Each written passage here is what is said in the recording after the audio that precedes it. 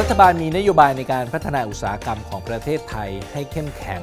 และมีขีดความสามารถในการแข่งขันอย่างยั่งยืน เพื่อเป็นพื้นฐานที่สำคัญในการขับเคลื่อนระบบเศรษฐกิจของประเทศไทย ให้มีการขยายตัว เติบโตอย่างต่อเนื่อง โดยมีการกำหนด 10 อุตสาหกรรมเป้าหมาย เพื่อเป็นนกลไกในการขับเคลื่อนเศรษฐกิจเพื่ออนาคต โดยอุตสาหกรรมยานยนต์สมัยใหม่ ถือเป็นหนึ่งใน 10 อุตสาหกรรมเป้าหมาย ที่จะต้องดำเนินการส่งเสริมสนับสนุน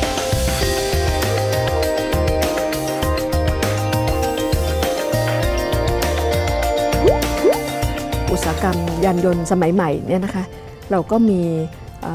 คณะทำงานเช่นเดียวกันนะคะที่มาดูแลคลัสเตอร์ยานยนต์นะคะในเรื่องของรถไฮบริดรถไฟฟ้านะคะก็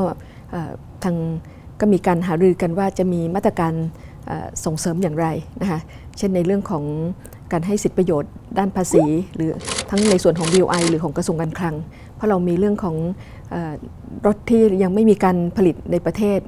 หรือยังมีตลาดน้อยอย่างเช่นรถไฟฟ้านะคะในช่วงแรกเราอาจจะผ่อนผันให้นำรถเข้ามาโดยที่ได้ยกเว้นภาษีศุลกากรนี้เป็นต้นนะคะทั้งคันก่อนนะในจำนวนหนึ่งนะมีโควต้าแล้วก็แต่มีเงื่อนไขว่าแล้วต่อไปเนี่ยก็จะต้องมีการประกอบมีการผลิตรถในเมืองไทยนะคะเป็นเรื่องเป็นราว ซึ่งก็จะได้รับสิทธิประโยชน์ส่งเสริมการลงทุนจาก BOI ด้วย แล้วนอกจากนี้เนี่ย ก็คงต้องพยายามไปส่งเสริมให้มีการผลิตชิ้นส่วนนะคะอย่างเช่นเรื่องของแบตเตอรี่ เรื่องของมอเตอร์รถไฟฟ้าอย่างเป็นต้น ให้มาผลิตในเมืองไทยด้วยนะคะและในขณะเดียวกันรถบัสส่งเสริมให้เกิดการประกอบในประเทศไทยอย่างไรนะคะเพราะว่ารถบัสเนี่ยก็จะไปโยงกับเรื่องนโยบายจะซื้อจัดจ้างของภาครัฐด้วย อย่างเช่นขอสมกนะคะที่จะซื้อรถมาให้บริการอย่างนี้เป็นต้นนะคะก็จะเป็นโอกาสที่จะให้เกิด อุตสาหกรรมนี้ในประเทศไทยเราได้ด้วยอีกทางหนึ่งนะคะ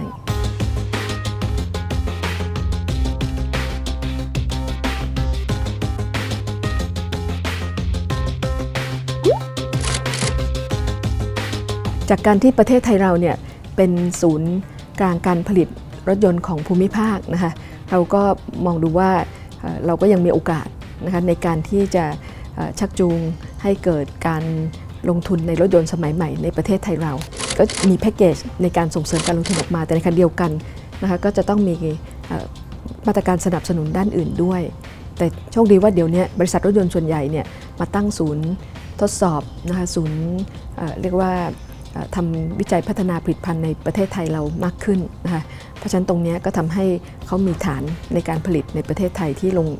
ลงลึกอยู่แล้วเนี่ยนะคะเพราะฉะนั้นการที่จะเอารถใหม่ๆ ที่มีเทคโนโลยีระดับสูงมาเนี่ยก็ไม่น่าจะยากนะคะแต่อย่างไรก็ตามเราก็ต้องออพยายามที่จะเตรียมคนด้วยนะคะในเรื่องของคนรวมทั้งมาตรการสนับสนุนในเรื่องภาษีต่างๆนะเพื่อที่จะจูงใจให้เกิดการลงทุนนะคะ แล้วก็ต้องออกไปชักจูงนะคะให้เขาเข้ามาลงทุน เพราะนั้นไม่ใช่เฉพาะตัวรถยนต์อย่างที่เรียนนะคะก็ต้องชิ้นส่วนด้วยชิ้นส่วนไฮเทคที่ยังไม่มีผลิตในประเทศไทย ก็อยู่ในนโยบายของ cluster รถยนต์สมัยใหม่เนี่ยนะคะที่จะต้องไปชักจูงให้ให้มีการลงทุนในประเทศไทยมากขึ้นด้วยนะคะเราก็ยังหน้าที่จะเป็นฐานการผลิตที่สำคัญ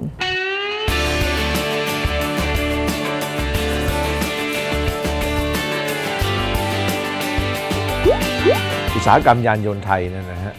เรารู้เลยว่ามันมีขีดความสามารถสูงอยู่แล้วนะครับมีสปายเชนที่ค่อนข้างแน่นหนาและเก่งอยู่แล้ว อันนี้เรากำลังจะมองไปในอนาคตอย่างไรนั้นนะครับมันมีอยู่สองตัวที่สำคัญในนโยบายของรัฐที่ออกมาอันแรก เราเรียกว่า super cluster ใน super cluster นั้นเนี่ยเราพยายามที่จะไปดูว่าตัว supply chain ทั้งหมด ผู้เล่นทั้งหมดในอุตสาหกรรมยานยนต์นั้น มันมีอะไรบ้างที่เราขาดหายไป สิ่งที่เราพบนั้น มันยังมี missing link อยู่จำนวนมาก และส่วนใหญ่ก็จะเป็นกิจกรรมที่มีมูลค่าและเทคโนโลยีค่อนข้างสูง เราเลยกำหนดนโยบายที่เราเรียกว่า super cluster มาในพื้นที่ 7 จังหวัด ในภูมิภาคในบริเวณ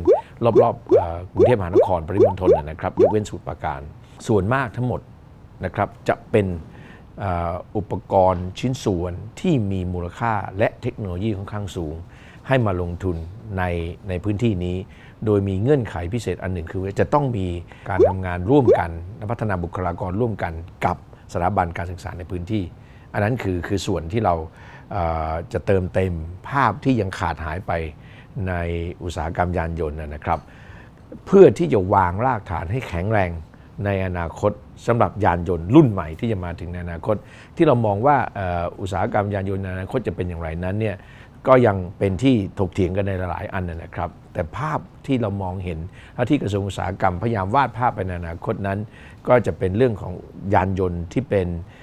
ที่มีประสิทธิภาพในเรื่องของการใช้เชื้อเพลิงนะครับ ไม่ว่าจะเป็นพวก เชื้อเพลิงทางเลือกต่างๆ เป็นฟิวเซลเป็นไฟฟ้า หรือแม้กระทั่งเป็นไฮบริดพักอินต่างๆ ที่จะมีหลายค่ายเข้ามา แต่กระทรวงอุตสาหกรรมก็จะมองเทคโนโลยีเหล่านั้นเป็นทางเลือกอันแรกนะครับว่าจะต้องชักจูงการลงทุนอย่างไร ให้กับอุตสาหกรรมเหล่านั้นผู้ผลิตเหล่านั้นเข้ามาลงทุนในประเทศไทยอย่างไร สิ่งที่เราทำก็คือการเตรียมความพร้อมของเอ่อสภาพแวดล้อมทางธุรกิจในประเทศไทยนะครับไม่ที่เราเรียกว่า ecosystem เรื่องของบุคลากรเราต้องเตรียมตัวอย่างไร เรื่องของพวก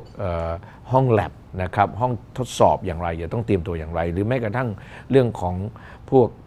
charging station ถ้าเกิดจะต้องเป็นไฟฟ้า หรือจะต้องเป็น plug-in hybrid หรือจะต้องเป็นไฮโดรเจนเราต้องเตรียมตัวอย่างไร และที่สำคัญที่สุดแน่นอนครับ ในเรื่องของของแรงจูงใจที่จะให้ผู้เล่นเหล่านั้นที่มีเทคโนโลยีสูงนั้น มาลงทุนในประเทศไทยเป็นอย่างไร เราพูดคุยกันเรื่องนี้เพื่อเตรียมความพร้อมนะครับ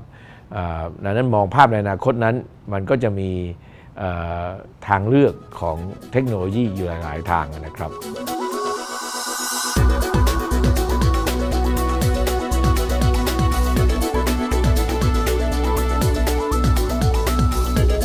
เราได้เห็นศักยภาพของอุตสาหกรรมยานยนต์เดิมที่มีอยู่แล้ว ต่อยอดด้วยนวัตกรรม เทคโนโลยี และการสนับสนุนของรัฐบาล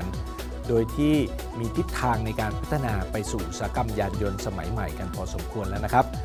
ไม่เพียงเท่านั้นนะครับ รัฐบาลโดยกระทรวงอุตสาหกรรมเองยังมีนโยบายคลัสเตอร์อุตสาหกรรมยานยนต์ เพื่อให้เกิดการเชื่อมโยง และเสริมประสิทธิภาพกันในการผลิตมากขึ้นไปอีกด้วยครับ รวมถึงการสนับสนุนให้มีการจัดตั้งศูนย์ทดสอบยานยนต์และยางล้อ ซึ่งถือเป็นโครงสร้างพื้นฐานที่สำคัญประการหนึ่ง ในการจะพัฒนาให้ไทยนั้นกลายเป็นศูนย์กลางของอุตสาหกรรมยานยนต์สมัยใหม่ในระดับภูมิภาค และระดับโลก ติดตามกันได้ในช่วงหน้าครับ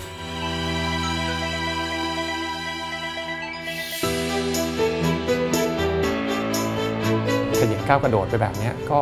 ทุกส่วนต้องเข้าใจว่า infrastructure ณจุดนี้ ถ้าจะก้าวในเรื่องของปัญญา ต้องมี infrastructure infrastructure ด้านปัญญา ซึ่งก็เรื่องเรื่องดิจิทัลเรื่องสูตรทดสอบเป็นสิ่งจำเป็นครับ